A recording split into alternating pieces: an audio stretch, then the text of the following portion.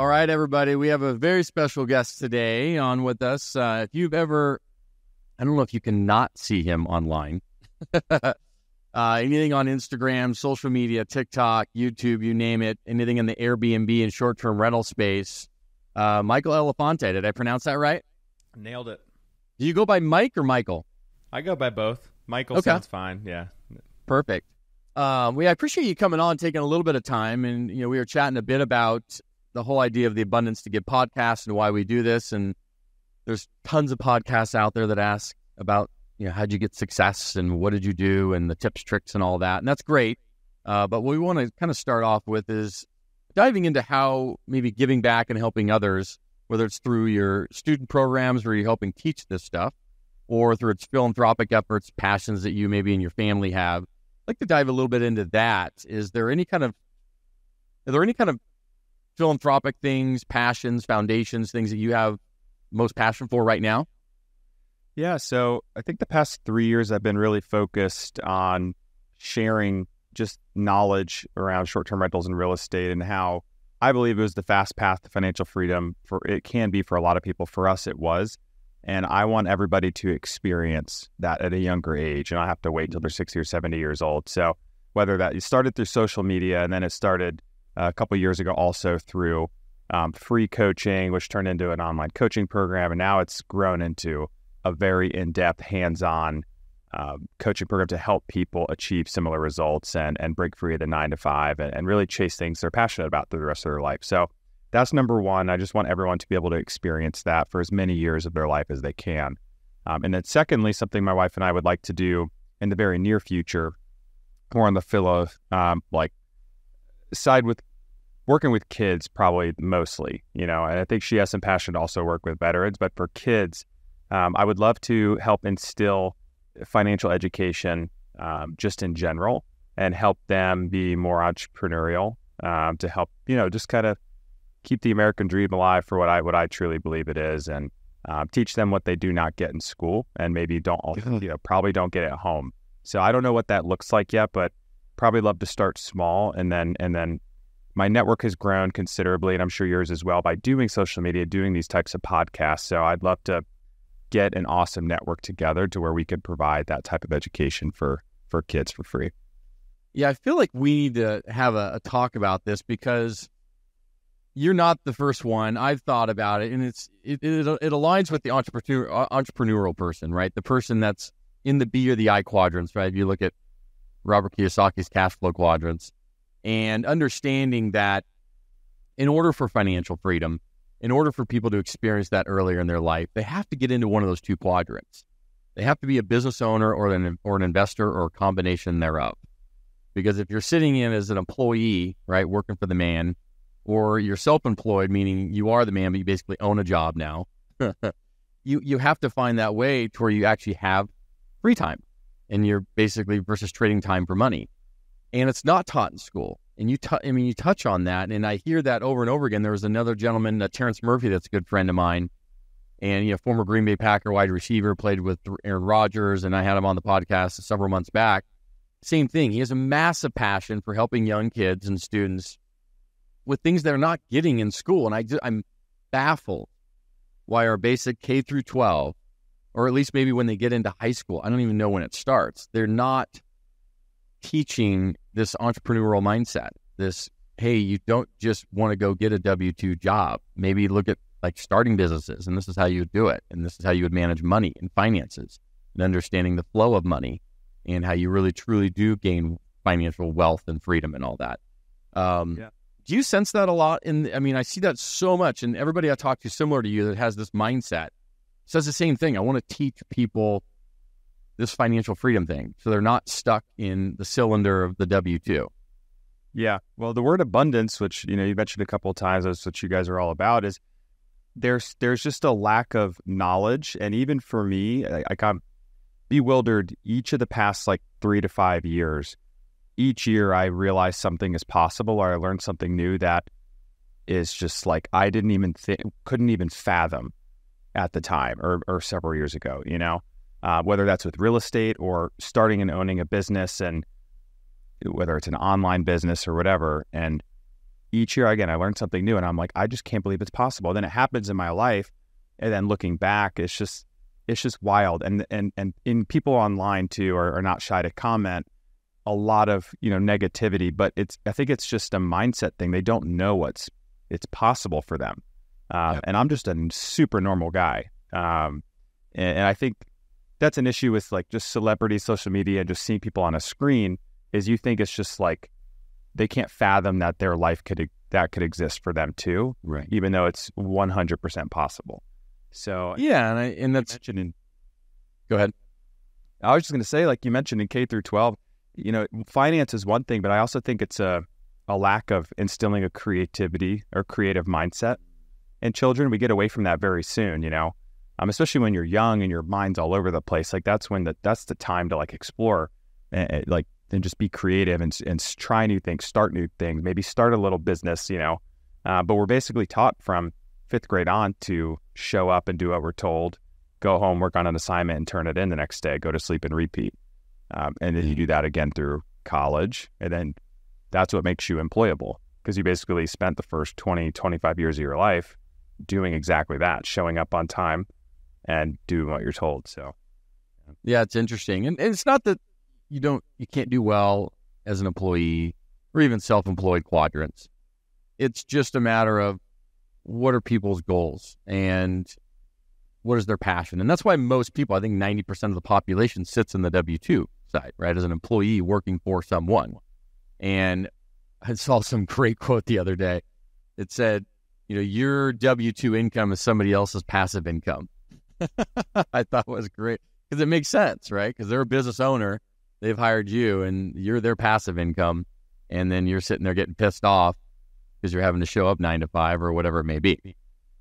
Yeah. Yeah. I mean, even if you have, if you get more creative employees that have, even if they're not going to be a business owner someday, if you had like those are the best employees or best people who can help run your company, right? Or like be your COO essentially, are people who have an entrepreneurial mindset where they can take a task and do it better than you can do it. Or mm. say, hey, we should be doing this instead, take the company this direction, and then they take it and run with it.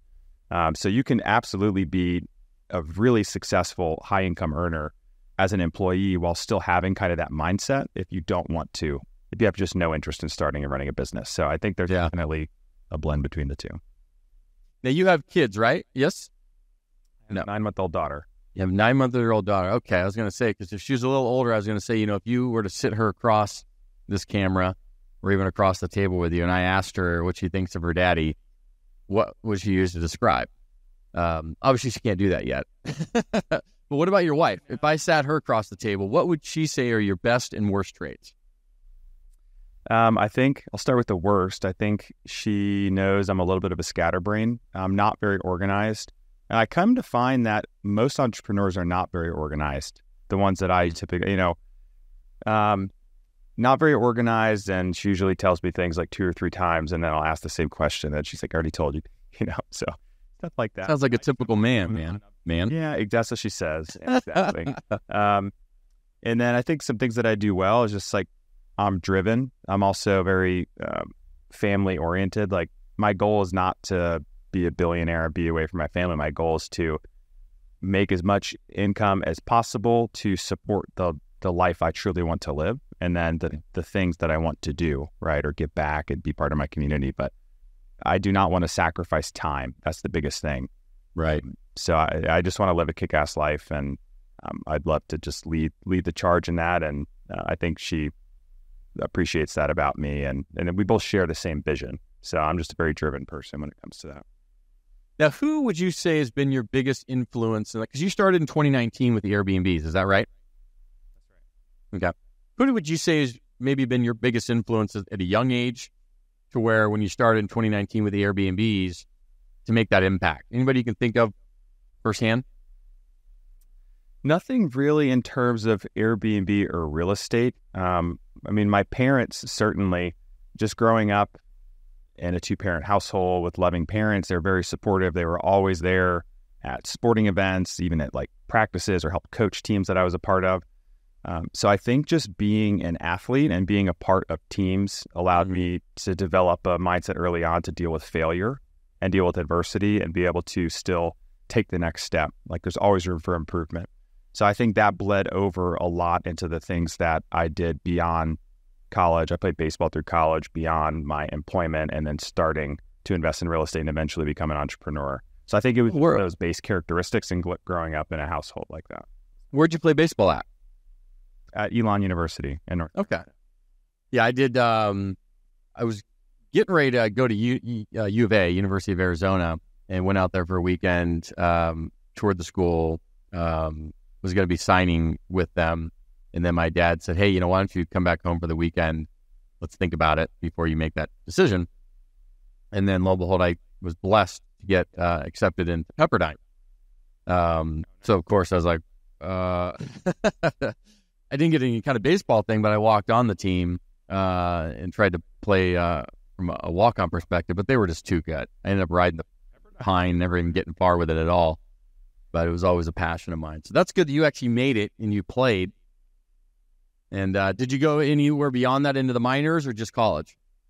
No, this is actually a funny story, which I usually tell on uh, you know different types of podcasts. Is um, I redshirted a year. I went in as a catcher, and I could throw hard, and I, I knew where it was going. I pitched a lot growing up, so I was doing a little bit of both, pitching and catching my freshman year. Fall of sophomore year, I felt a pop on one throw and immediately knew it was probably my UCL, which if you know Tommy John surgery. So had that happen, redshirted a year, then uh, came rehabbed as a full pitcher only, so full time pitcher. Um, so I pitched the next three years, and I was I had some interest. I was hoping to get picked up, um, but I had some injuries back and forth, and probably lacked consistency. Truth be told, but that's what I wanted to do. So graduated with the finance degree, and I was deciding if I wanted to go into the workforce or go back to school for a fifth year. And I was trying to pick up some internships or just some work, part time, full time, whatever it was, down in Florida and nobody would hire me. Like I even it came down to Chipotle or Dunkin' Donuts, and Chipotle, I love it. And Dunkin' Donuts hired me, and I was just looking to like at least pay for gas and food during that summer. I figured my life out, so I was there pouring coffee for like seven thirty five an hour with like a 3.4, 3.5 GPA from one of the top business schools in the southeast. I'm like, what am I doing, dude? That was messed up it is what it is, you know. Anyways, I was like, you know, I'll just go back and play a fifth year, and I mean, that's a good humbling experience, right? I mean, that's okay. Oh, yeah, for sure. Uh, it's pretty wild looking back on it. That was my first taste of sales too, because I was selling for a startup company, pre-selling a product that's probably not even HIPAA compliant. It was super, kind of a weird product, and I was I didn't know what I was doing, no guidance. I was just going door to door. I made my own pamphlets. I think I got t- two meetings that whole summer. I made zero dollars doing that. So that's why I worked at. I love it. D's. Went back for a fifth year. Did okay that year. Was hoping to still potentially get drafted. Didn't happen. Took a job, entry level sales, making thirty five thousand a year, and that was like my first real smack in the face. Like I was super passionate about baseball. Like I mean, just like you, Justin, right? And once that passion came to a halt, I mean, I woke up living and breathing sports, specifically baseball, for the better half of two decades.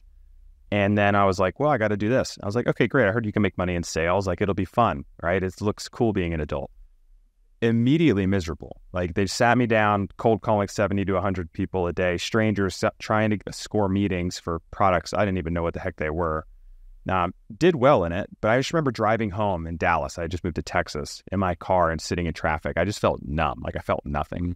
I was like, is this depression? I was like, I don't think I'm depressed, but I had no money. Like I barely could save like more than a couple hundred bucks a month.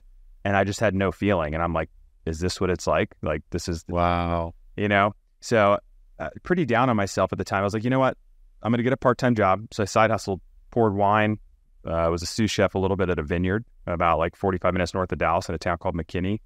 And I actually made more there post-tax than I did pre-tax at my job at sales, which is which is kind of messed up. But um, then I got a promotion, and then I switched and networked a ton. Uh, got a job at Google doing inside sales for their cloud platform. Thought that I was like, I made it. I remember doing a project in school about what it's like to work at Google. I was like, wow, that must be nice. Went to work there. It is pretty, pretty cool. Like they treat employees really well. But at the same time, I just had this emptiness inside me. So I'm like, wow, okay, I thought I made it again. And here I am having the same feeling. Maybe if I just make more money, then I'll, then I'll, then I'll feel better. So this is when I started to learn about real estate and passive income because I'm started to see the, the silver lining here where it doesn't matter how much I'm making as long as I'm trading time doing something that does not make me happy every single day. Then it won't. I won't be happy. Sure, life gets a little better and easier if you're making more. Um, so I got my last job I had before I quit and just did real estate full time. Um, moved from Dallas to Austin, then to Nashville. Stayed at an Airbnb to while my wife and I were looking at homes for us to buy for ourselves. And that's when I started to think, how much money are these people making from us renting here just for a couple of days? What's their mortgage? How many days did they book? So that's what got the gears turning. Took that job, finally was making six figure income as a sales rep. Hated it, you know, uh, but it was better. Life got a little easier. Uh, but that's what got the gears turning with real estate. And then a year later, made our first ever investment and then just never looked back. Gotcha. Kind of a long, long answer to your question, but no, but it's a great one. And what would you say is the number one thing? Obviously, there's several in a successful Airbnb. Well, there's multiple things, but the number one thing is I'll just call it experience. Right? You have to be in the right location, and then also right location within that market, because people are doing two things when they're looking for, to rent a place what am I going to be doing in that city? And I want to be close to that specific activity. But most importantly, it's a it's Airbnb is like a digital product. It's no different than Instagram. If I don't capture your attention in two seconds, you're on to the next seven thousand properties, right? Right. So I want to compete on experience in order to one, make more money per night and be more occupied. And two, I want to be relevant long term. There's some articles coming out recently about how RevPAR is down a little bit and uh, quite a bit in some cities. I know it was Exactly. Yeah, I saw that too. We'll, we'll talk on that in a minute because I did see that. It's very interesting. Uh, I'd like to get your take on it. Yeah, so it's getting more competitive, right? There's more supply. I think supply and demand will level out over time. But whatever happens in business, regardless what business it is, if um, supply goes up, it's going to bring prices down, right? That's the beauty of a free market. And same thing with the short-term rental industry, and a lot of people are overpaying for places. So I don't want to compete on price. I want to compete on value and experience. So if you, you ask me the number one thing, it's it's that. So it's design, amenities. What do people are? What are they going to feel when they're there? Why do they want to rent it for themselves or their families? What are their kids going to be doing? Um, and if you can sell them on that value, you're going to get more bookings at a higher rate, more frequently, better reviews, and just continues on and on. And how many do you own currently? We own seven, and uh, I have a management company. We manage about 230. Okay, gotcha. Now, with the seven, from the first to now, the one you have now, what have you learned the most about that process? Because you clearly have gotten better and better over time uh, to refine it. Yeah, design. Um, I think early on, and not just design, but a lot of things. Early on, like any real estate investor, you're trying to be really scrappy out of the gate. Um, oh, I could just do it myself. I could do that myself. Um, honestly, the more things you can outsource, as long as there's an ROI correlated with it or a return on time, so ROT, whatever you want to call that, um, then I'm willing to pay for that. Um, and so as time has gone on, our design has gotten better. We've outsourced design. Actually, I'm a part owner of a design company as well, um, and those girls are amazing. Can they do it all over the country? Coast to coast. Okay. Yeah, yeah. Summer led Designs. Um, they're amazing. You guys listening, check them out on Instagram. The work they do is so killer, and all they do is vacation rental, short term rentals. And what do they typically run on an average? Sorry to interrupt you. On an average Airbnb design, and do they purchase the furniture? What is the inclusive package with that? Yeah, there's two different routes you can go. They could do completely remote, where they design the entire house to the photo frames on the walls and where to put them, and they give you a, a, packet, basically on a silver platter that you can take or you can hand to a GC or a project manager, and they'll they'll know exactly each room where to place things, how to do it. And then oh wow! You procure the furniture and install. That's worth its weight in gold. Oh, it's amazing. And they'll do it in like two weeks. Yeah, I mean it's worth its weight in gold just because you're not having to conceptually come up with all this. And I'm going to mm-hmm. presume that they're good designers to where they are staying within trends. They're coming up with new concepts, things maybe that are ahead of the you know the curve. To kind of like you said, keep your place relevant, keep it fun, create the experience, which sounds like that's everything. And I would agree with that. I mean, I we don't own Airbnb, so this is kind of like a multifamily guy talking to an Airbnb guy, which is amazing and we can chat about that because there's benefits of both. Um, but I have looked into it. I am curious about it. Uh, maybe I'll even talk offline with you about it. But it's uh, I, I do have concerns about you know ordinances, right? Crackdowns, supply. If you have lower barriers to entry, now you have all these people coming in driving prices. So I'd love to get your thoughts on that. Yeah, for sure. I'll dive into that one second, and then I just want to finish the second package with them. They'll they'll procure the furniture. You just give them money. They'll procure everything, and they'll professionally install and photograph. So Wow. I've had clients on the coaching side where they live in Columbus, Ohio, and they set up a property in Scottsdale. They a year ago, they still never been to it. I love it. That's great. beautiful property. Uh, That's amazing. Yeah, so as far as a couple different markets you can invest in, right? I mean, two traditional markets for for short term rentals. The one that most people think about are vacation markets. So mountains, beaches, lakes. There's been vacation rentals there for decades, right? Long before Airbnb or even the internet came about. Um, what Airbnb did is really made it more accessible for people to do it in the cities and compete with hotels. Um, so, uh, in you know the digital age we live in now, it's so easy just to go on your phone, and even with hotels, but Airbnb, Vrbo, you're just you can look anywhere you go and find a place to stay anywhere in the world, really. So you have urban markets and vacation markets are really the two different Gotcha. urban markets are going to be a little bit stricter and more common to change or more frequent to change rules and regulations, which are a challenge, but it can also be a significant advantage as an investor. Because if you look at the Smokies, there's just mountains and hills for forever out there. And if there's less regulation or no regulation in much of those counties or cities, then the supply can go up a ton at a quicker rate per se than at a city. Because if there's let's say there's zoning restrictions like in Nashville, um, there's almost like a soft cap on the market. You know, you can really only do in commercially zoned areas or plan unit developments that go up. So, with that being said, and they'll grandfather ran the existing permit holders from before. So, if there's a soft cap but increasing demand, it really helps protect your your cash flow, um, if you Yep. will, because other areas where the supply goes crazy, but the the total market revenue doesn't. That's what that article was about. Was the revenue per available listing. Um, even if the revenue is increasing, if supply increases at a faster rate, the total available market share of the revenue per rental actually goes could go down. It doesn't mean Yeah. you can't be super profitable there. It just means there's the supply has increased greater than the rental demand. Than the demand. Right. Interesting. Okay. Yeah, because it dropped. So, it- so it is legitimate when it's when it showed because you know sometimes these things come out and they're not they're skewing the data. It was it was looking at the the problem I have with it though is it needs to look at multiple years and multiple months or a year as a whole. So it kind of cherry picked certain markets where the supply did definitely go up a lot, um, for sure. Like I think Phoenix and Austin, or Phoenix and Sevierville and Austin were like the the top three on there. They looked at May from 2022 to May of 2023, but just those comparing the month over or year over year for just the month of May. oh, it's it. the rest of the year. That's it. Oh, So what they looked at in the in the article, what a lot of people were posting was said revenue's down fifty percent. Revenue actually was not down fifty percent. If you look, it was probably cu- quite the opposite. Total market revenue, if you look on AirDNA, was up significantly. it was the revenue per unit or per. markets. Gotcha. Exactly. Revenue per available rental was down because the supply had increased. And you also have to take in consideration that the spring of 22 was probably the end at the end of the peak of the post-COVID travel demand. So there was an artificial spike in travel that a lot of investors probably looked at just the 2021 to 2022 da- data and they were like, "Oh, this is what it's going to be." So they overpaid for real estate and now there's greater supply in the market and a lot of people will probably sell off. We're starting to see supply come down in a couple of those markets and like I said earlier, supply and demand have a way of figuring itself out long term. Yeah, of course. That was the problem I had with that article. Was just like it was kind of misleading a little bit. You know, they just looked at one month and one data point.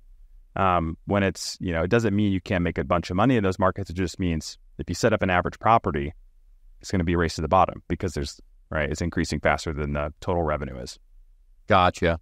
And would you say even in a market like that, you can go in with an experience and outperform it, or was that something where you'd probably hold tight in some seeing that data in some of those markets for the short term before Yeah, purchasing? I mean, I would, yeah, I would definitely take it into consideration for sure. I mean, there still are, are a lot of price conscious travelers out there, but I would just look like Scottsdale is ultra competitive, more so compared to a lot of other markets out there. Scottsdale is a very established market that everyone has a sick pool, everyone has a putt putt course, everyone has half the places have bachelorette theme, some have like volleyball courts. So how extreme can you go where the total dollars invested still yields the result you're looking for? right.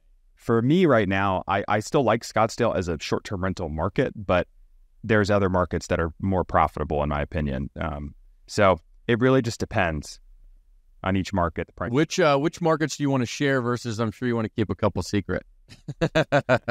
Honestly, um, I get asked like every day by students, by people on social media, by friends. Yeah. What I just want to know what your top market is. Like, I don't have a crystal ball. I'm not. I don't have any data necessarily that that you don't have access to. I just work with students all over the country, and so I, I have the benefit of seeing different markets at different. Yeah, you get the ground game. I would say this: if you're going to invest, oh, this is free advice, and if you're listening, like write this down because it's really helpful. The two different markets: you have an urban market and vacation market. An urban market, I would invest in if one, there's already established tourism and it's growing, and then two, the city is growing in population. Because what happens there is it protects your cash flow and the investment in terms of long term equity and appreciation. If the city is growing and there's a lack of supply, that's going to put an upward pressure on the price of real estate typically, right? Long term. Secondly, if people are moving there, let's say you have to pivot to a midterm rental or a long term rental, people are always going to be looking. And if there's limited supply, people are moving there with families, maybe for work, right? Whatever it may be, they need to rent for one, two, three, six months at a time. They're going to be looking for a nice furnished rental. So. It kind of protects your investment. It hedges a little bit against any headwinds for short term rentals. Vacation markets, I just look at all the data on AirDNA. Um, it, it's really easy to look at where the top properties are located, what they offer guests, and just don't try to fix what's not broken. Like don't recreate the wheel. They have already it's already there for you. Um, you can see what the potential is, run multiple scenarios, but in a vacation market, you definitely want to see just steady tourism, hopefully growing, uh, but do pay attention to the supply and those other factors. And how do you, um, obviously, AirDNA, you brought up that site because I was going to mention that next. Um, will it show you the, obviously, it's showing you the number. Does it, it, is it showing you potential permits coming or anything like that, or is it more just actual data? Yeah, just mostly historical data and some future looking, but it's mostly historical. Um, the one other thing I'll mention for vacation markets too is that I really like to focus on is drives to vacation markets uh, are going to probably have less issues during economic hardships or times where you know um, the economy's struggling because if you think about going to the Smoky Mountains or even to the beach on the Panhandle of Florida, once it's drive to from multiple major met- metropolitan areas. That's where I would focus on because if those metropolitan areas are also growing in population, like Western North Carolina, the mountains, Greenville, South Carolina is growing, Nashville, Knoxville, Chattanooga, all growing, Raleigh and Charlotte, all growing. And where does everyone want to go when they move to a new city? They want to experience like the local vacation spot. So yeah, that helps the demand long term. Um, yeah. So I mean, I would just keep that into consideration, and then yeah, keep an eye on local rules and regulations. You, usually, you can see the writing on the wall, but I would work with a local realtor and network with other investors and see if there's already been permit changes in the past. How aggressive are they? Um, yep. But yeah, of course, that is a risk that you take going into most urban markets. Yeah, makes sense. So between, um, you know, because I'm an apartment guy, we own apartments and we do multifamily. Don't do any Air, uh, Airbnbs at this point. But curious, and we it's funny because we have some midterm rentals within our apartment communities that are quite successful um, and some people that we've let into sublet and some that we actually run ourselves. Um, are you familiar with the apartment space? How do you recommend it in, in comparison to your Airbnbs? It's probably a faster turn in terms of you know revenue and turnover versus kind of that longer term apartment growth. But I'm curious your thoughts between multifamily investing versus Airbnb investing. Yeah, I would say for scaling cash flow as fast as possible and big cash flow, cash and cash return, short term rentals all day long. However, the the biggest the, a couple advantages to doing commercial or multifamily. One, they're appraised differently than single family homes. That's like right. the biggest driver. Because if you go into a single family home, you put in some money into put some money into it, you fix it up, and your rent roll does really well, your NOI goes up. Now that a property, you may have just built yourself a nice seven figure piece of equity just by increasing rents. Um, however, if you do that in short term rentals, it doesn't matter, right? Because unless they change that, they're just looking at the three or comps. four best comps in the area to appraise that piece of property. Even if it's cash flowing like 200K a year, it doesn't matter. Right. So, from an equity standpoint, that's where really multifamily and commercial has a huge leg up, in my opinion. Uh, but gotcha. flow wise, I mean, you're going to it's hard to find anything that beats a short-term rental. I think the the beauty, which is I think where this conversation could be could go, is blending the two, and that's where I think you get into hotels or boutique hotels where it's like small multifamily, but they're you treat it more as like a contactless boutique hotel, so just multiple little Airbnbs within. Interesting, because you're seeing conversions happen. Um, even my buddies are doing some of these mini, you know, comfort suite type hotel um, conversions into multifamily. So I don't know if they're doing shorter term rentals with that in combination with the longer term 12 month. Um, but that's an interesting idea and model because you're saying go in, maybe take a, a mini hotel that was a hotel with nightly stays and mix it to where you're doing some longer term extended stays, shorter term with like 12 month rentals, like doing a hybrid version. You could do that, or just strictly get a 24 unit place and just turn them all into um, short term rentals. So, yeah, and just run them all smaller units. Um, that's uh, a challenge. Uh, yeah, the only challenge I see in that is the financing side. Because um, I totally get it. How, how, would you do a financing on a on a? Go ahead. Yeah. No, you're you're, you're yeah, you're exactly right. It'll be financed as a hotel, so it's definitely going to be stiffer, especially if you're looking to to you know crank up the NOI and pull money out through a refi. They're going to want to see a longer history. A lot of them got spooked, and rightfully so, with COVID in the hospitality space, because uh, it's not just multifamily; it's hospitality. So uh, the LTVs are going to be definitely uh, lower, a little more aggressive. Yeah, quite quite a bit lower, more aggressive from the from the lending side. Yeah. Huh. So would you, but uh, would your uh, lenders be your local regional banks, or would I mean, because you're not probably getting agency debt with that. You're gonna, like you said, you're gonna be into that space where your interest rates are maybe a little bit higher. It's it's financed and looked at like a mini hotel. Yeah, yeah, okay. yeah. I think a lot of people, and I, I haven't gotten into it yet. It's something I'm probably going to delve into here in the very near future. But my peer said their best luck was with local banks. Yeah, with the local regionals. So with the financing on the Airbnbs, are there specific banks that you that will loan all over the country for that to, for the acquisition side, or is it still local based? And um, is it traditional financing? Are you just getting your normal traditional twenty percent down, thirty percent down type loans, or is it different financing? Yeah, so I would say the majority of the time it's conventional financing. Uh, the one really cool thing about doing short-term rentals, a great segue for somebody who's looking to start, is if you have a market that you want to visit and and use the rental yourself, like as a second home, you could do 10% down second home loan. You get way more leverage and you're legally allowed to rent it out when you're not using it. You just have to be careful on it, don't just go get an investment property and say it's a second home loan because that's where it gets a little it's pretty gray area. So if you have the intent to use it, you just have to report, you know, the revenue or the income to the IRS if you rent more than 14 days a year. Right. Uh, beyond that, you could do 15% or 20% down conventional financing. Um, and once you're tapped, I mean, you can only have up to 10 loans, or if you're tapped on DTI, then you'd have to pivot to like a DSCR loan, which okay. I, I even got a DSCR loan for 15% down on a $1.5 million purchase price. And they were looking at the Airbnb income through AirDNA Rentalizer. Oh, interesting. I just needed a one to one coverage on debt service. Now, was your was it through a traditional bank or was it a normal bank or a different bank, like a commercial bank financing? I'm trying to remember who the lender was, but typically I'll just work with a broker. Um, I David Greene's brokerage has been pretty good. Um, Ricardo Carrillo has been kind of like my right hand man. He actually helps coach on the lending side in my my coaching program. So I will he locate financing all over the country. Exactly. Yeah. Okay. Interesting. Yep. Specifically to the Air, Air uh, Airbnb market. Mm-hmm. Okay. I'll do both. I mean, he he financed my primary house too. Um, so they'll they'll do all, all sorts of financing, but they work with a ton of investors. But I mean, they're basically tied to BiggerPockets through David. So gotcha. They have you know that that investor network um, is what I would imagine most of their business is coming through. Yeah, because that's the key too. You go find something that's called a million dollar property. You're going to put say 10, 20 percent down, so two hundred grand or hundred thousand, uh, financing the rest. But you're going to be doing it as uh, an investment specific. Uh, you can get traditional financing, or you can do something a little quicker if there's some other avenues, like you said, through through the broker nationwide. So, uh, mm-hmm. yeah, interesting. Awesome, man. Um, yeah, that's definitely the way to go. What else? I mean, because obviously, I want to talk a little bit about your coaching program, um, and you know, students can find you. do you have different levels of these programs where you can kind of get in like a crash course and then maybe one level up and then like a full blown mentorship?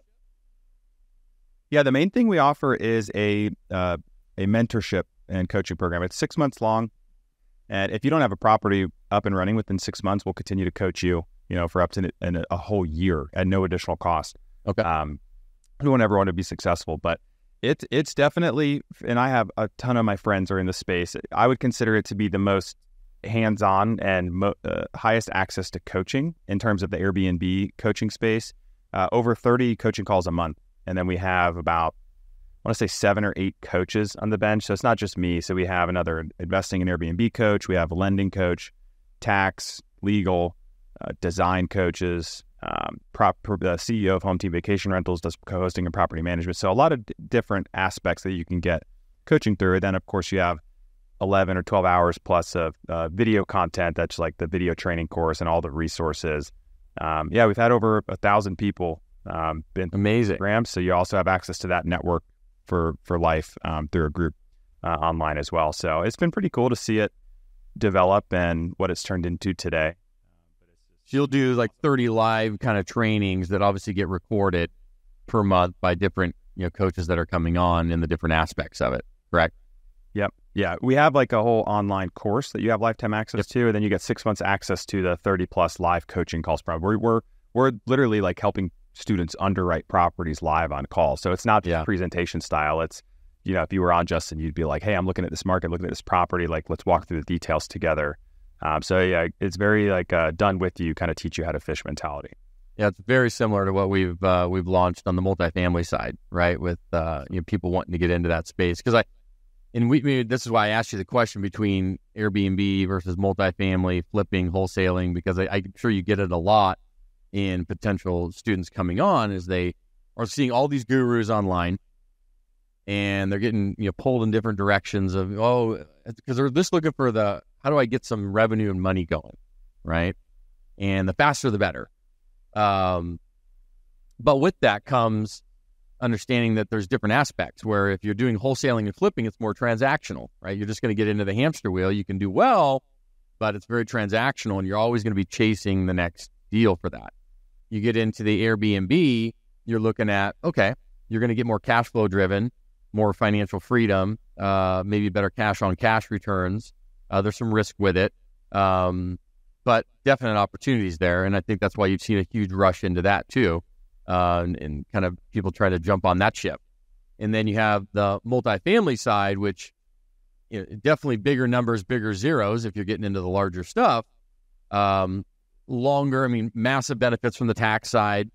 Uh, obviously, like you said, appreciation, inflationary hedges, um, cash flow side of it, and there's but it's bigger barriers to entry, and it's not going to be that fast burn, flip, turn, cash flow tomorrow and rock and roll, and you're a gazillionaire. It is a slower, less sexy thing. I tell people, but if you if you're if you like six figures, great. Then maybe wholesaling, flipping, Airbnbs. If you like seven and eight figures, then multifamily. And it just depends on where you want to go and the avenues in which you know you're willing to take. And like you said, I think a blend between. I mean, I look at the different business models, Airbnb and multifamily all day long, or even putting into that like because we're in the storage um, uh, multi um, mobile home parks, and uh, we like that model. And you know, we're looking into flex space and storage facilities. That's all part of the commercial stuff, but similar to multifamily, it's all cash flow driven.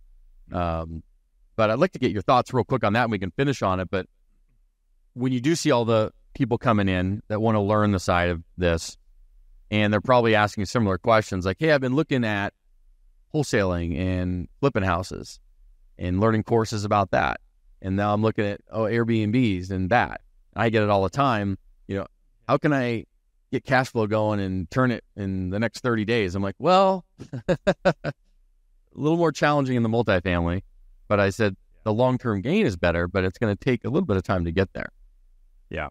Yeah. I think, you know, for me, I looked at wholesaling and even flipping, and there's a ton more risk in flipping than there are typically in, in investing and, and cash flow um, wise. Wholesaling is a grind for a lot of people. Like it's tough.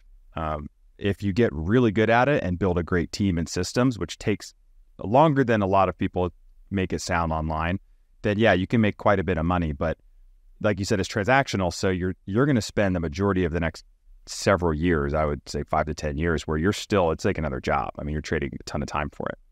Um, I always like to say short term rentals are the fastest path to financial freedom because, it, uh, of course, like anything, right? If you do it right, a single property can cash flow you three, five, ten plus thousand dollars a month. Um, so there is there's really nothing else that can produce that level of cash flow. Uh, it is more involved, though, right? I mean, you have to furnish it, design it, and then the ongoing management piece. Um, it, but long term, that's where the blend of multifamily or commercial comes into where you want to plant some money and let your net worth really skyrocket that's where I think you take the cash flow and move. But if you're looking to like quit your job as fast as possible, that's usually it's very goal oriented and driven, right? And same yeah. for you. It depends what people like. What's your short term goal? What's your long term goal? If you are like, hey, I would just love to retire my wife or my husband. I want to spend more time with my kids, or I just want an extra five k a month. I'm like, dude, just start with one or two short term rentals and just do it the right way. You'll do really well. And then once you have the time freedom, now you can explore any other opportunities. You want to scale a big short term rental portfolio? Awesome. If you want to plant that money in multifamily and just scale that way, awesome. Um, but that's the way I view it. I mean, for me, I think their true money is to be made by holding and and through cash flowing assets. So, yeah, like you said, the transactional stuff, and then it's just a tough market to flip in right now. Yeah, I mean, I and I, I just went to you know Kent Clothier. Uh, he's got his boardroom mastermind, and I know him a little bit. And there was a lot of wholesalers and flippers there, and every single one of them is like, "I'm getting murdered right now." There's, uh, there's because once again, if there's lower barriers to entry, you know, everybody online is a guru. Everybody's coming into it, right? And then now you have this massive supply of people trying to do it, and you don't have that much supply of properties to do it with, and so you just have this massive discrepancy. Yeah, and everybody's just getting hammered in that space right now. So I, have always advised against it, at least for, for the for the moment. Would Would you say that uh, Airbnbs are getting? Is it too late to get in that game, or not really? I don't think so. I think it's very market dependent, though. Right? I mean, if you go into the market that had the most significant growth, um, especially like a post COVID market where you started to see crazy travel numbers in a market that historically did not have those numbers and then it's starting to come back down to pre-COVID levels, and price of real estate like doubled in a couple of years, which is or maybe mm-hmm. more, which is nuts. Um, yeah, a lot of great bought in those markets. Yeah, and and and now where the numbers don't make sense based on the pre-COVID numbers, so it just depends on it's market specific, property specific. But like I just bought my most recent property a couple months ago, and it's you know next month we're going to bring in forty grand on a single property, and net, net that's gross rev through twenty seven. Yeah, yeah. So we'll net like twenty seven thousand dollars on a single place. Now, granted, this is our seventh; it's our biggest and baddest one. We invested a lot of money into it, but that's the type, and it was a sub million dollar purchase price to do those kinds of numbers. Like, would you say sub million purchase price? Yeah, we bought it at nine hundred eighty thousand. We did okay. sink a good bit of money into it, um, but uh, it's it's just wild. Would you put like a was it a, was it one hundred fifty thousand in reno to it? I mean, or more? I think, let's see we put about 26% down. It was like 250 or 265. And then all in, we were like 580 or 590. Okay. So you do the math. I want to say furniture and design, we were about 100 to 110. And then the Reno, and we added a lot too. It wasn't just the Reno. Like we put a sport court on the driveway for a full court basketball court. We put like a four hole putt putt. This is a big house. Big house, 6,800 square foot, sleeps 20 people. Um, Where, where's it at? I mean, it's in Ash. Yeah, it's in Asheville, North Carolina. Okay. Yeah, is, is it in? Uh, is that? I presume that's a vacation market, correct? Yeah, without market, tons of weddings. Yeah, booming market and growing too in population and popularity. But um, yeah, year round. Spring's popular, summer's popular. People want to see the fall colors. Go to the Biltmore for the holidays, and we're right right near that, and right near downtown Ash, not too far from downtown Asheville. So, and growing markets mm-hmm. outside, right? Like I said before, Greenville's like an hour and a half away. Greenville's bustling town. Charlotte, Raleigh, all growing, and then same with the Tennessee cities, all growing in that. And did you find that market through data research, or you just know it because you're kind of in that and been there a while? Uh, definitely more so the latter, but um, as time went on, the numbers still have to make sense. So I started to do a lot more research into it. Some of my previous students um, invested there and they're crushing it. I'm like, Mm. man, really crushing. You're like, ah, I think the mentor needs to go in there now too. I know. And I'm like, all right, I'm gonna wait for like the right opportunity there. I wanted a value add property that we could like be the top. I want to be the top property there, which I think we have pretty good potential to be top producing property, just because no one else has the amenities we we offer. So that's what I'm really focused on now. Is now that our cash flow is great, businesses are doing well. I want to just like hit home runs with short term rentals and just like I want everybody who looks at Asheville to be, just dream about renting that place. Going to your house. That's how we're able to charge one, two thousand, twenty five hundred a night for it. and you'll get somebody that's going in there. Is that a single family or two families with just that are combining together to rent that thing? Uh, I'd probably say probably multiple families, whether it's like, you know, Or big parties? with kids or wedding parties, right, that are going to stay there or big friend groups, birthday, birthday, 60th birthday parties we had the other day booked. We had somebody book for like 2K a night for six nights out next June. So like people are booking pretty far in advance. Someone asked about October 2024. oh my god, are you serious? Crazy, man. Yeah. Wow. telling me, oh, Airbnb's dying. It's like, no, it's just like getting killed by bad supply. So like if you do really well, like people will always travel and seek experiences. You know, Yes, I, I agree. people were dying to get out and go do something. And it is market specific. It is very market specific. And so you're saying do good re- do good research first. I mean that's critical. It's, it's like any piece of investment is location, and and then doing your research on on the data, the market, the supply, uh, you know, rents. Um, it's interesting when you said It's that right there for you. It's all right there online. Like AirDNA, these other data data sites, like democratize short term rental investing for the everyday person, an everyday investor. We have everyone has access to the data if you just pay a little bit to access it for their Yeah. What are the top three sites you use? AirDNA. AirDNA for market re like for uh, data within markets, um, Yeah. and then I would say like on it's more so on the back end sites, um, tech for managing property. So that's the other thing is you can self manage to at scale almost. You can outsource cleaning, and then you just have tech like so. Property management software is the biggest one. We use Guesty for pros for the management company, but there's a ton out there. Yep. Um, Price Labs or Wheelhouse for dynamic pricing to help you understand what people, what the demand will actually buy at, right? and then Turno or Resort Cleaning for cleaners, and then everything kind of syncs. Um, so we have seven properties, and we haven't been to six. Out Uh, does everything uh, sync into Guesty? Because Guesty is a decent one I've seen um, for for managing that platform. You said- do- Does all the uh, like the resort cleaning and everything, uh, whether you're doing I guess maintenance or cleaning, will sync into that? That's right. Yep. So yeah, so cleaners should know as soon as you get a reservation, they know when it is, they accept it, and then they know when to go. Then clean the property, checklist, whatever. Uh, but yeah, it all Gotcha. sync to like Airbnb, Vrbo, direct booking, Booking.com. So if you get a reservation on one, it'll block the other calendars, um, and it'll unified inbox, so it'll automate ninety percent of your guest messaging from there too. Gotcha, makes sense. Um, there's one last question I had for you. Oh, what are you doing for the Fourth of July, man? what do you? So today we're here Friday. You got the weekend, and then you got the Fourth. I'm just curious. Uh, any big plans? Yeah, got some friends coming out from town, and I live on a lake out here uh, in South Carolina. So we just got a, a boat, like a wake surfing and wakeboarding boat, not too long ago. I put getting off a boat for so many years. Delayed gratification, man. I wanted a boat since I was like a teenager. Finally got one, and for waiting, I actually got like a pretty sweet boat, like one I really wanted. Um, but we just love it. Love it. Is it a uh, come out. go fast boat or is it a wakeboard boat?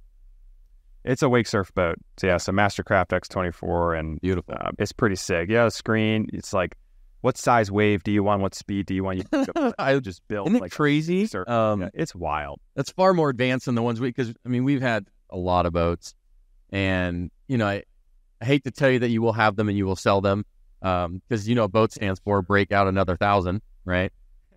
That's what it stands for. Break out another thousand. But listen, you'll love it. You'll have so much fun with the family. You'll enjoy it. You'll sell it in a few years. It's pretty standard. Uh, and then you'll end up getting another one just because you'll forget about how much it cost you. It's like having another kid. You're like, oh, that was painful, but we'll do it again. And then you just, I mean, we've done it. You know, you love it, you enjoy it, um, and why not? Right. Yeah, yeah. So doing that, and then we'll go into town. There's a concert in town. I think uh, is it Justin Turner? I don't know. Someone's coming to Greenville, so we'll go watch him and maybe go golf and hang out on the boat again, watch some fireworks. What about you? Yeah, Carolina is a great market for multifamily, by the way, the North and the South Carolinas. So we're not over on the East Coast yet, um, but you know we're as far north as Tennessee, so we like Nashville, Knoxville, those little pockets. You know, Alabama, Arkansas, and then we're in the kind of the middle part of the country, everywhere from Texas, Oklahoma, all the way up to Missouri, um, and a little bit of the the western side with Arizona and Nevada. Um, but uh, one of these days we'll get over to the East Coast. It's just it's another time zone, another flight. Yeah, that's right. well, thanks for coming on. I appreciate it. Where can people find you? Uh, uh, so any social media, Instagram is probably the best. You know, shoot me a DM there. I always respond. Um, it's at m elefante six. And how many followers across all the platforms do you have now between YouTube, TikTok, Instagram? I think Instagram you have over three hundred thousand people, right? Yeah, it's close. It's approaching three hundred thousand. We're two nineties somewhere. Wow. And TikTok like nine hundred twenty four thousand. Holy cow! Slower burn. Yeah, so about one point Yeah. two or one point three million across all platforms. Yeah, YouTube is a slower burn for sure. What would you say was the biggest thing into getting? Uh, did you ever see like a spike when it like went from here to like hero pretty quick? I posted probably thousands of videos from TikTok and Instagram, and I would dedicate 98% of my follower base came from five videos. Really? Yeah, it's wild, man. I remember posting one, a couple back to back, where I got several million views on TikTok. And I was just talking about my properties and the cash flow, just just like, hey, super transparent. If you guys are interested, this is how much my property's made, and here's why. Broke through the numbers, and a lot of love and a lot of hate, but that's what creates a great video. Went viral, and I woke up to like 120,000 more followers, and next day I woke up to another 100,000 followers. This is TikTok, right? So, Yeah. it's just wild. And then Instagram just did not hit for the longest time. And then I had one video that took me from, again, hundreds of videos. I had one that did really well, took me from like 35,000 to 125,000 in a week.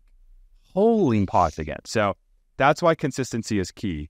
Yeah. You know, I you get so burnt out for posting videos, but you have to try new things, see what works well, see what's working well for other people, and then when you have one that works, just beat that exact style of video into the ground over and over and over again.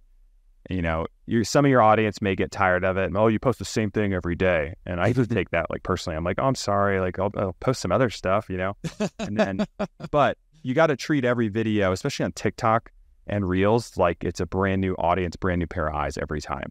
So that's what helped me grow. But you have to try different things. If something's not working, don't do it over and over again and watch it still not work, you know. But yeah, it's a finicky, social media is such a finicky thing. So you're saying because I am not on TikTok because I'm like I have so many plat. I mean, between YouTube, Instagram, I'm not even on Facebook. I mean, I'm on Facebook, but I don't look at Facebook anymore. Um, Yeah. So ti- I mean, but I just don't know. I mean, but clearly it's working for you. Yeah. And you'd be surprised for, for business, for your coursework. I mean, you just have to get in front of people and, and for, for the people that it's the right fit for, you can help them. Just, it's just another avenue for them to find you. Uh, but there's Sure. a lot of people on TikTok for sure. Um, No, I know. I mean, platform now. It's every video, regardless of your following. You know, it, it treats it really like the same way. It's less like a dedicated audience like Instagram or especially YouTube is. So each video goes out to like call it 10 people. If the data makes sense, though, this is why TikTok grew so, so much in popularity because if the video did well for those 10 people, it would go to like 100 people. If it did well for 100 people, it would go to 1,000 people. so you get view, you you get views, massive viewership. Yeah. You would exactly you turn on your phone if it hit the algorithm right you would turn it turn it back on in an hour and it would have 5000 views you turn it off you turn it on the next day and it'd be at like 100000 views and the next day it'd be like at a million so it just like goes nuts but if one doesn't hit you could have 900000 followers like i do and one gets 1200 views okay, I got it. finicky instagram's more consistent yeah Yeah, interesting. Very cool. Well, thank you for your time. Appreciate you coming on. I know we're all, you're a busy man, so um, and yeah, definitely go uh, meet and see Michael Elefante and everything he's doing with Airbnbs and anything else. Are you looking into other investment styles other than the short term stuff, or just that right now? Yeah, there's some other stuff in the pipeline. Um, probably in boutique hotels. I also have some interesting uh, things uh, I would love to pursue in multifamily. I'm just looking for the right partner on that specific venture. So maybe you and I will talk offline because I have something Yeah. that may interest you. Um, Absolutely. Cool. Well, thank you, man. I appreciate it. Signing off.